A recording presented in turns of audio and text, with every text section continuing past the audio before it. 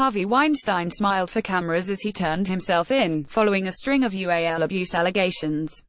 He will be facing rape and UAL misconduct charges, after months of accusations of UAL harassment.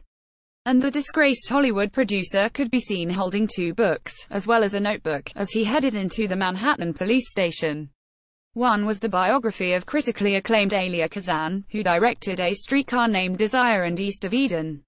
As well as the biography, he also clutched onto something wonderful, Rodgers and Hammerstein's Broadway Revolution as he made his way into the police station. The 66-year-old smiled as he was escorted into the New York Police Department's first precinct on the 25th of May, at 7.25 a.m. Eastern Daylight Saving Time. Weinstein is facing charges of rape and UAL assault, after claims he raped one woman and forced another to perform oral on him. The former Miramax boss is also under investigation for alleged crimes in London and LA, following a string of women coming forward with allegations last year. He has strenuously denied all accusations of UAL assault. His lawyer, Benjamin Brafman, previously explained, Mr. Weinstein has always maintained that he has never engaged in non-consensual UAL acts.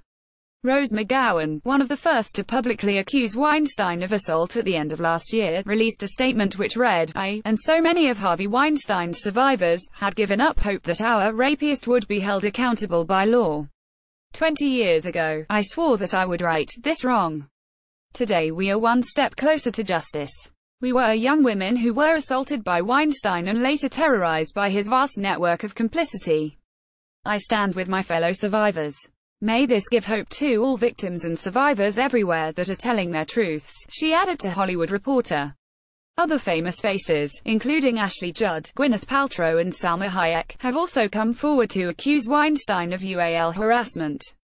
More, NYPD ready to arrest Harvey Weinstein as it launches crimes investigation More, Harvey Weinstein to replace Peter Jackson with Quentin Tarantino on Lord of the Rings.